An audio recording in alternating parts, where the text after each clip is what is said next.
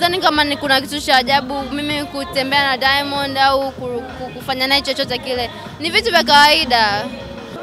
I believe Harmonize anajua kila kitu ambacho kimetokea na aka appreciate na hata alimwambia Diamond, yo huyu demu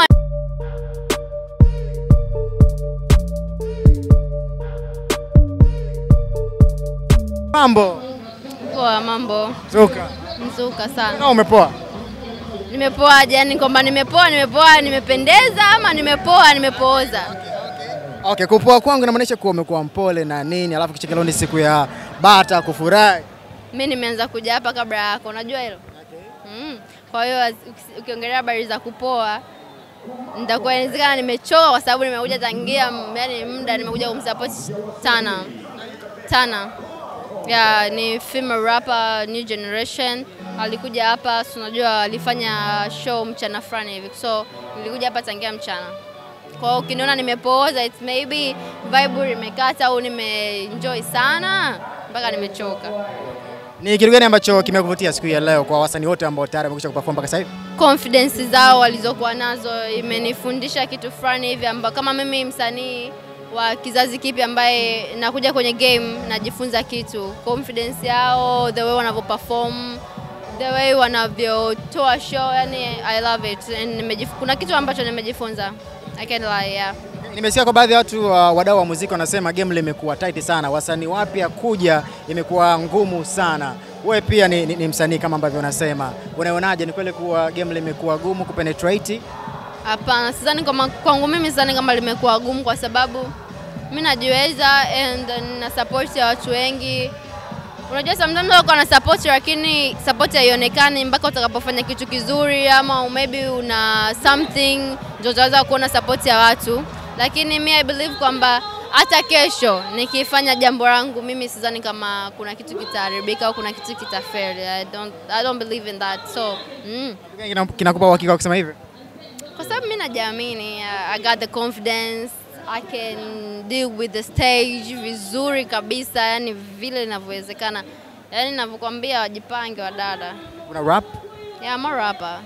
Can you give us a little bit? Ah, bana. Kidogo tu. Exclusive watasikia um, mwakani hapo 2022 nitaanza kuachia kazi zangu and I, I think uh, kila mtu ataziona and kuna vitu vizuri sana nimwandalia mashabiki zangu. Kwa hiyo nikisema sasa nianze kuwaonesha mambo yangu hapa tanichoka mapema. Kwa hiyo inabidi wanione, yani ni wa surprise.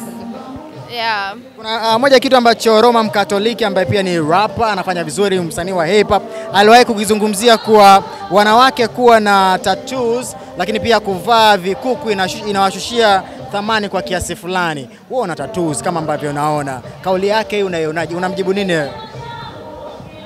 Roma ndo ameongea hivyo, sio mimi. I do me, nafanya kitu ambacho kile napenda mimi. Sifanyi kitu kwa ajili ya kumfurahisha Roma, kumfurahisha mtu yoyote mwingine. Nafanya kitu kwa ajili yangu. Kwa hiyo yeye kama kaongea hivyo, ni yeye. Mi nitavaa vikuku, nitapendeza, nitachora tatu, nitapendeza. Kwanza tatu zangu lie, zinanifanya niwe tofauti na wanawake wote ambao nawaona hapa. Yani I'm really fucking different with them. Yeah. Mhm. I can see the confidence. Yeah. Okay. Anyways, uh, moja ya kitu ambacho ni- na kizungumza wakati mpo kwenye jumba la, la jumba, jumba gani jina lime bingwa. Yes, bingwa kama sikosei. Kuna kitu ulizungumzia uh, nadhani wal- walikuwa kwenye kikaango kama sikosei, uh, wakakuuliza kuhusiana na kuwa na mahusiano na Diamond. Jibu lako likawa kama la nani, ni kweli kuosha kutoka na Diamond? Mm, Jamani, mwenza- Tunataka tu clear, tu- tunasafisha mama. No, msifanya hivyo bana. Watu wameongea sana. Ah, Mnanikosea. Au mambo yalishapitaga kwa sipendi kuyaongeleaga sana, lakini ni vitu vya kawaida. Sidhani kama ni kuna kitu cha ajabu mimi kutembea na Diamond au ku- ku- kufanya naye chochote kile, ni vitu vya kawaida. Sijajua why me but I believe that everything happened for a reason. Yeah, maybe ilikuwa inatakiwa nipite pale ili ni maybe nije kuwa mtu fulani. Wewe unaonaje? Unaona eh? Na- na- na- Naamini kuna, kuna, kuna vitu tunajifunza kwa wale watu ambao tuna, tuna date nao labda pale ambapo tunaachana nao, lakini pia kuna mistake ambazo tumezifanya au walitufanyia ndio maana tuka break up nao. Kitu gani ambacho ulijifunza labda ulipokuwa una, unatoka labda na damu na vitu kama hivi? Mimi nashindwa hata kusema, nashindwa hata kuongea. Mimi sijawahi kutoka na Diamond. Yeah. Unasema? Sijawahi kutoka na Diamond. Ila ulipita naye kama ambavyo ulisema. Pita naye? Kwani kutoka na kupita kuna Ah, wewe jamani unaweza kuniweza. Sio mbaya lakini. Ni kweli sio mbaya, na ndio maana nakwambia ni vitu vya kawaida, lakini tu ni mambo tu yalitokea. Mimi naona kama ninaona kama ni vitu ambavyo vimepangwa na Mwenyezi Mungu, so I can run away from it, you know. Kwa kila kitu kinatokea tu automatically like. Alafu unajua kuna watu wanasema like Barbie mimi anapenda kiki, lakini mimi huwa naongeaga vitu reality. Kitu ambacho mimi kinanitokea kama hivyo unaniuliza hapa moja mbili tatu sometimes people they want to know what was going on what's happening so i have to say the truth ili wanielewe kwamba kumbe Barbie Mia bwana hakuwa hivi ilikuwa hivi lakini people they don't understand that kwa sababu maybe it's Tanzanians people ndo maana nakuwa hivi lakini mimi i hope watu wa, wa nje ya nchi they understand very well some things but here Wow, ubongo wa bongo ubongo wao ushasikia ndio maana kaambiwa bongo yani ubongo ubo, wa bongo ubongo wao ni noma How do you feel kwa, uh, kwa jinsi ambavyo labda wanakuongelea wana, wana kwenye mitandao kipindi ambacho labda stories zina trend kwenye mitandao, Barbie Mia aliwahi kutembea na Diamond na vitu kama hivyo. Uh, comment zao zilikuwaje na una, una, una, una, defend vipi na hizi comment zao? Unajua, at first time sikuwahi kuzungumziwa katika mitandao, sijawahi, yani sikuwahi na sikuwahi kutegemea kama kuna siku nitakuja kuzungumziwa katika mitandao, lakini nilikuwa natamani kuwa, since when I was a little kid, nilikuwa natamani kuwa msanii mkubwa, superstar, famous person, and then ikaja kutokea hiyo issue ya Diamond, umeona eh? so watu walitukana, watu waliongea, kila mtu aliongea kitu ambacho anajua, lakini I believe Harmonize anajua kila kitu ambacho kimetokea. Harmonize anajua vipi? Ah, sasa sitaki kusema niseme mtaka exclusive, si ndio? Tell me. Mekosa. Harmonize anajua kila kitu. Yeah, kwa sababu kila kitu kinachotokea alikuwepo na mimi sikupenda itokee hivyo. Nahisi ni mambo tu aliingiliana. Yeah. Lakini mi naamini ilikuwa ni sababu ya mimi kufika sehemu fulani. Maybe ilikuwa natakiwa nipite pale ili ndoto yangu ambayo mi natamani kufika iwe hapa.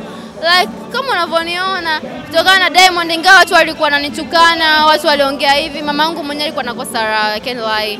Ndugu zangu wenyewe walikuwa wanamtenga mama yangu, wanaona kama umezaa mtoto sijui aina gani sijui ni nani, lakini I am the one who helped my mom, so wow, Yani hata mama yangu awe na shida hapo sasa hivi ni mimi, so wao. Lakini people wali, wani ndugu jamaa marafiki walimletea maneno mengi mama Mia hivi mpaka mamangu akanakosa raha. Kuna muda akawa haonekani kabisa, kwa sababu akionekana tu ni Mia Diamond, Mia Diamond, Mia hivi hivi na hivi, lakini mi naona it's cool. Hata kama kuna binadamu sisi tunatokea shit happens. Afu tunasameheana naweza kaamini maybe mi ndo mimi nilikosea yeye anajua kwa sababu mimi najua Diamond anajua kila kitu ambacho kilitokea anajua kuanzia mwanzo mpaka mwisho and I can lie anajua ukweli wote hata kama ata fake atafanya hivi ili mashabiki zake wa understand lakini anajua ukweli Umeongea kutoka moyoni, naweza nikafili kile ambacho unakiongea. Kwanza kuanzia mama, pole pole pia kwa mama. Uh, kwa, kwa, kwa hiki ambacho kimeendelea, labda sio pia umemwingiza Harmonize, unasema naye anajua. Harmonize labda ana support kwa kile ambacho unakifanya, kwa sababu anajua kila kitu behind support kama nini muziki. Unaingia una, unaingia kwenye muziki sasa hivi.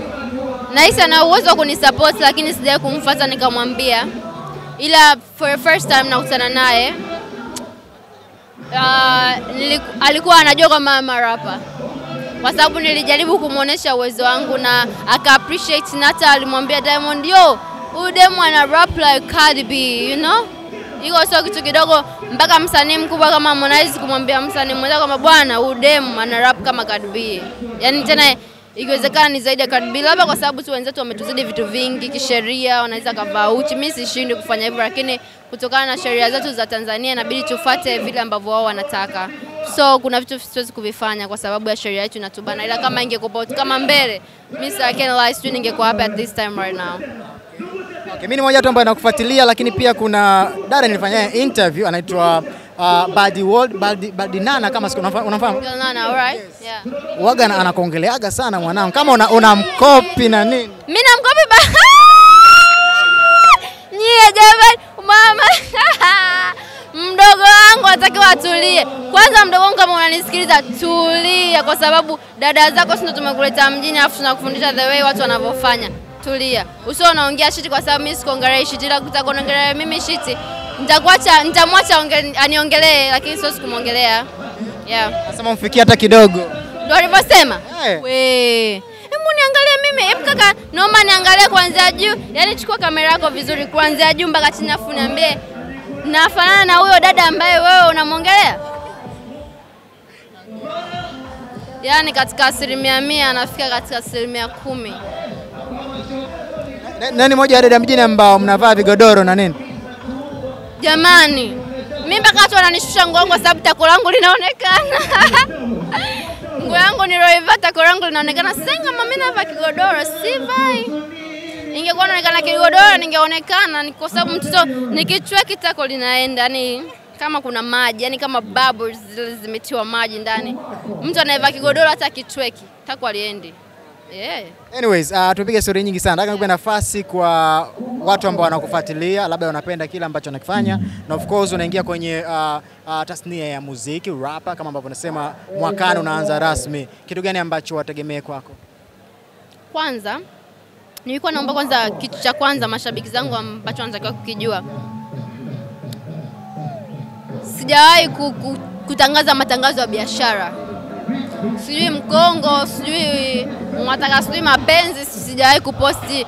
Ukiingia kwenye akaunti yangu siwezi kuposti ujinga kama huo. Kwanza kuna fan page ambazo wanaomba kwanza watu hela ni kitu ambacho kina mimi nilihakiwa account na hiyo akaunti ambayo watu wengi wanaifahamu tangu zamani. Nilivyohakiwa, mtu anamtext like mtu fulani ambaye mimi namfahamu, kwa sababu anaona maybe alivyoingia baada ya kuhack akakuta chati zangu mimi na huyo mtu, anamtext kwamba yo daddy, kwa sababu I can lie.